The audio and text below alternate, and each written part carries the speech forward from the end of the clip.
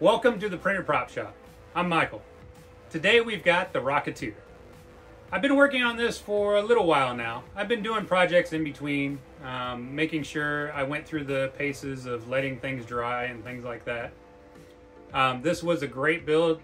I, I loved this movie as a kid, and I'm glad I was able to bring it to life. I hope you enjoy it as well. Here's how I did it. Okay, guys, so this is Armorsmith. Uh, I want to say right off the bat, Armorsmith didn't give me the program for free. I paid for it, um, and they're not supporting my channel or giving me any money up front for this. Um, the program is, I want to say, about $30. I did link it below. Armorsmith is great for cosplayers. You can uh, put all of your measurements, like I have, on your avatar here, and uh, measure it up to yourself, and it should fit properly. I left a gap um, for foam so that it would fit a little bit snug on me, um, and I put the nose right up to the right up to the edge, so it would fit a little bit snugger on my head. I just didn't want it to be a bobblehead. Make sure that if you are using this, to turn off um, scale all because it will just kind of make it all large and turn it into more of a bobblehead. So this is my slicer. Um, the program, it's linked below as well. I don't like printing all in one, and on top of it, this uh, helmet with the tail fin just wouldn't print out all in one on my printer anyway. Um, I don't like printing all in one because I've had so many failures in the past, and it uses a lot of support material that I think is just kind of a waste when I can just put it all together anyway. And I'm going to do a lot of finished work at the end anyway, so why bother printing it all in one? Just my thought. Here I've got my finished parts printed out. Um, the eyes did print out with this, the uh, lens pieces, if I might say, not the eyes. And uh, I just took my little Dremel tool and cut them out. Um, the little Dremel tool you can find at Amazon or any hardware store for like 25, 30 bucks. It's really handy. And I did cut out more of the inside shell so that those lenses would fit up close to the outside shell if that makes sense, um, because I didn't want them sit far, sitting too far back. And then after I got this at least mostly out, I took my little grinder tool um, and just grind it out down as far as best I could.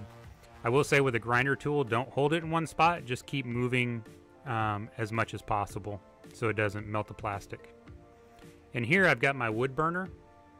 Wood burners you can pick up anywhere, Hobby Lobby, hardware, any anything like that. And they're they're very useful. This one I linked below. I found it on Amazon. It has a flat piece and it makes welding so much better. Before this, I did use construction adhesive to glue all the parts and then I went back over the seams and welded them together. And you don't dig into the plastic, just hold it over so it melts the surface of the plastic and it'll hold it together just fine. You can see here the weld marks are um, fairly flat. There wasn't much sanding to do after that. Just to, to knock off some of the burrs that maybe the plastic peeled up a little bit. I do have that little ridge right there where the print didn't print out so well. Um, and I'll fix that um, upcoming here. Now the front, when I printed off those two front pieces, they were facing the top of the printer. And that was how they just printed off that was the finishing part. Even though I have ironing on, it just didn't come out very well. So I just took my my wood burner and smoothed it out as best I could, getting it down to a, a, a more pliable surface. And those little rivet marks around the lenses too, I ended up sanding those off and making my own. You'll see later on in the video here. But they just they didn't print out very well and then after sanding they just wouldn't have looked very well. Um, they wouldn't have carried the look. And you can see I smoothed it out. It really came out really good. And here I've got my tub of plastic wood. And when you're doing this, at least when I do it, I just cover the whole unit. It doesn't really matter, I don't think.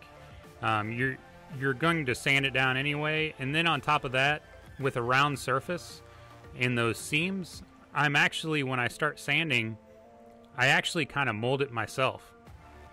So I just keep it going on a curved surface. And applying it is really easy and it dries in like at least half an hour. It's, it dries really quick. And it won't dry pink on it if that matters to you. It'll actually dry white. You'll see in the uh, in the next part where I'm sanding that it, it actually dries to a kind of a white consistency. And it's water washable. And here I'm, I'm sanding. I've got one of these little uh, sanding sponges. They're, they're pretty handy when you're doing um, filler, when you're sanding filler, especially on a curved surface, because it does curve with the surface. So like I said, I'm I'm actually molding this, and that's what I use filler more for, is to kind of mold with it and keep those surfaces round. So here I've gone ahead and uh, touched up that little spot. I'm, I'm guessing because I printed on a cold day and I had opened up the door to the shop, probably let that cold air in and the print lifted.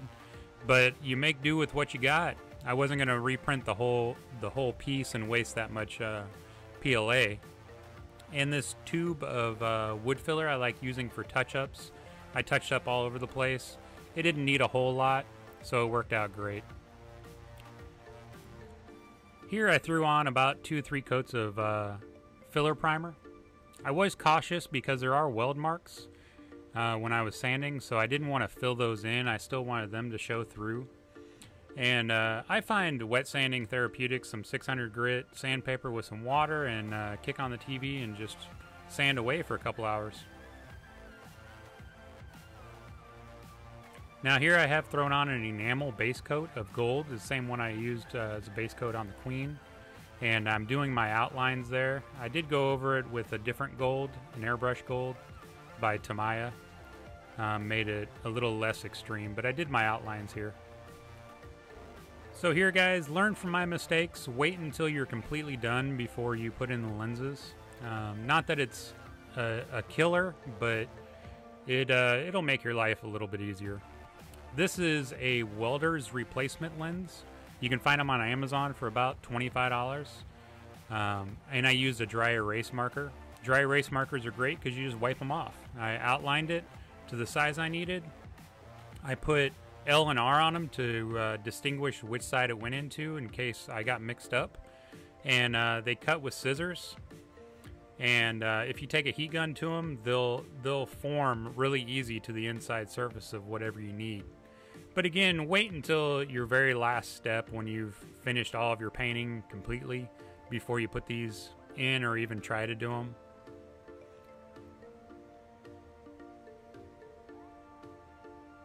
And then here I pulled out my heat gun. Um, what I'm doing is forming them to the inside surface.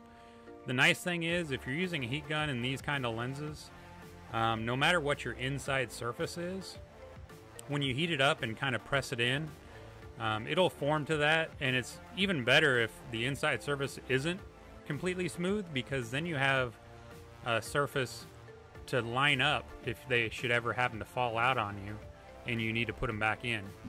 I will say use some gloves with your heat gun and when you're doing this, like I am, um, just because it does get very hot. And uh, it is melted plastic, so it could it could potentially burn you. And then here I've got just an ordinary glue gun. You can pick these up at Walmart for five, ten bucks, um, and the glue is relatively cheap. I am uh, putting it in from the outside in, so that when I push that lens in there, it'll uh, it'll just touch better.